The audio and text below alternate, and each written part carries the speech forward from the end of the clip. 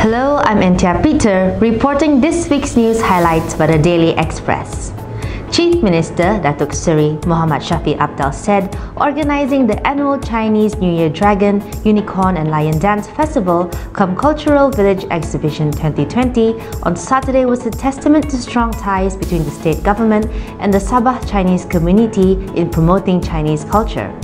He said the state government encourages such cultural events and was looking towards continuation of the tradition in the coming years.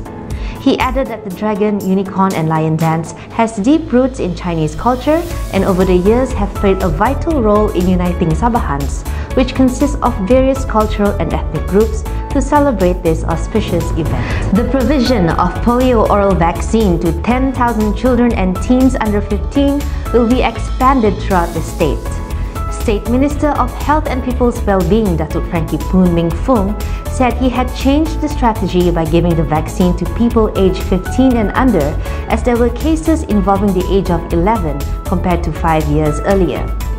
Frankie assured everyone would be given the vaccine as 2,000 vaccines have also been given to children and adolescents in Pulau Berhala, Sandakan.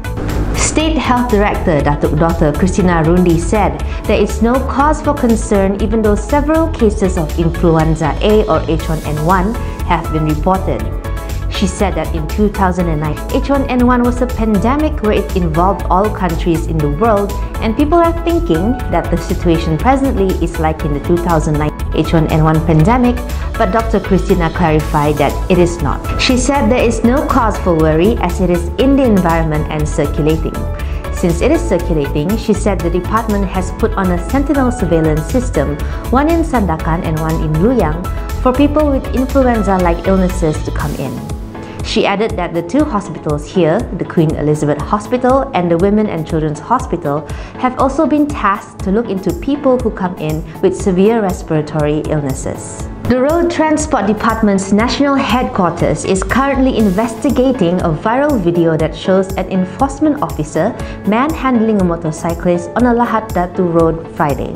According to information posted in a WhatsApp public alert group, the incident occurred during a roadblock at 10.30 am at kilometer 23 of the Lahad Datu to Sandakan Road after the 20-year-old motorcyclist who had no identification documents tried to evade the roadblock.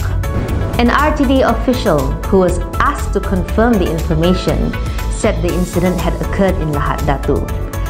He said the RTD's top management is taking the issues of integrity seriously and will never compromise with any personnel found guilty of offences. That's all for this week's news highlights. I'm Entia Peter. Thank you for watching and stay tuned for more news from the Daily Express.